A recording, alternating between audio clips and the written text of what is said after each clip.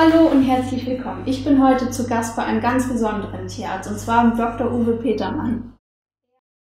Könntest du vielleicht noch mal kurz erklären, wo so die Unterschiede zu der traditionellen chinesischen Medizin liegen? Ich meine, gut, dass man Nadeln verwendet, ist ja klar, aber die Laserakupunktur funktioniert ja nicht ganz so. Also das, das Schema ist, ist ja ein bisschen anders. Nee, das ist eher das Schema Ohrakupunktur, äh, Körperakupunktur. Die Ohrakupunktur ist eine, und darauf basiert eigentlich diese kontrollierte Akupunktur im Wesentlichen. Es geht alles auch über Körperakupunkturpunkte, aber das Ohr als sozusagen als als äh, Blaupause des gesamten Körpers. Also alle Punkte des Körpers sind sozusagen auf das Ohr projiziert nochmal. Ja.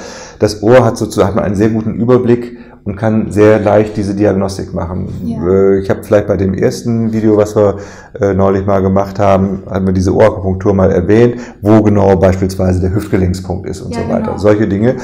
Ähm, und ähm, die moderne Akupunktur, die Ohrakupunktur ist halt eigentlich basiert mehr auf unserer modernen Medizin. Ja. Das heißt, da hat man Punkte für, äh, für die Leber, für die Niere, für die Hypophyse, für die Schilddrüse, auch für bestimmte Nervenganglien, für jedes Gelenk, für, auch für Hormon, hormonelle Punkte und so weiter. Und äh, das ist völlig anders als, zur, als die klassische Akupunktur. Ja. Andererseits hat man aber irgendwann vor ungefähr 15 Jahren hat man angefangen, die ganzen Körperakupunkturpunkte auch aufs Ohr zu projizieren und hat dann Übereinstimmungen gefunden. Also beispielsweise liegt auf dem vorher bekannten Lungenpunkt liegt jetzt der Punkt Lunge 7 oder auf dem vorher bekannten Nierenpunkt liegt jetzt der Punkt Niere 7. Das heißt, so kommt letztlich die westliche Medizin und die östliche Medizin, fernöstliche Medizin, die traditionelle Akupunktur zusammen. Und interessanterweise ergibt sich daraus keine Disharmonie.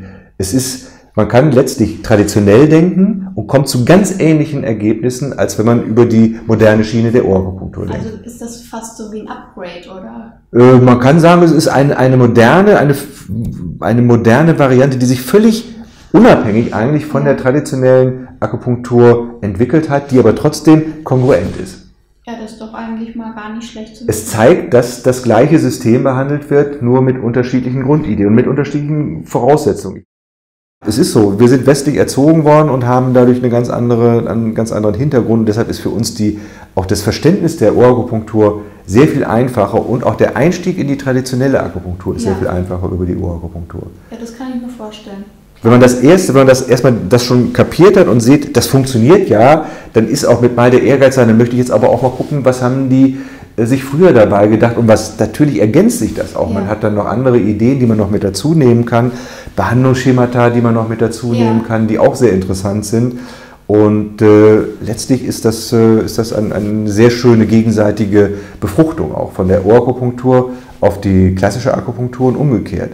Beispielsweise ist in, in die Chinesen, äh, in der Humanmedizin, äh, ist ein unglaublicher äh, Drang, diese Ohrakupunktur-Dinge zu erlernen. Also die Deutsche Akademie für Akupunktur hat äh, Lehrstühle an den äh, großen chinesischen äh, Akupunkturuniversitäten, wo unsere Akupunkturlehrer auf Englisch Vorlesungen in, in, in Ohrakupunktur beispielsweise machen, in China. Das ist ja interessant. Ja. Und andersrum kommen Chinesen, chinesische Professoren hierher und äh, lehren hier äh, die Körperakupunktur und nehmen sogar, man kann sogar ein chinesisches, ein Universitätsdiplom in, als deutscher Arzt hier in Deutschland ablegen, bei einem chinesischen Universitätsprofessor. Ah, also die Zusammenarbeit ist sehr, sehr gut ja. und äh, da gibt es also keine, keine Disharmonie und das finde ich sehr wichtig auch. Ja, das stimmt. Ja. Finde ich auch. Das ist ja aber schön zu wissen, ne? Ich bin im Grunde genommen auch in der Eiweiß bin ich auch das schwarze Schaf, weil ich Ohrakupunktur mache. aber das, äh, man, hat, man akzeptiert mich und man, äh, man, äh, ja, man respektiert mich trotzdem. Ein schwarzes Schaf muss es ja überall geben irgendwie. Nein, ist auch, ist auch nicht böse gemeint. Wie gesagt, ich nee, liebe diese Leute und äh, die lieben mich auch. Das ist schon eine sehr schöne, eine sehr schöne Harmonie. Ja, ich glaube, das macht die Offenheit, die du. Äh, das ist, das ist ja. ja wirklich, die Leute sind offen. Das ist phänomenal.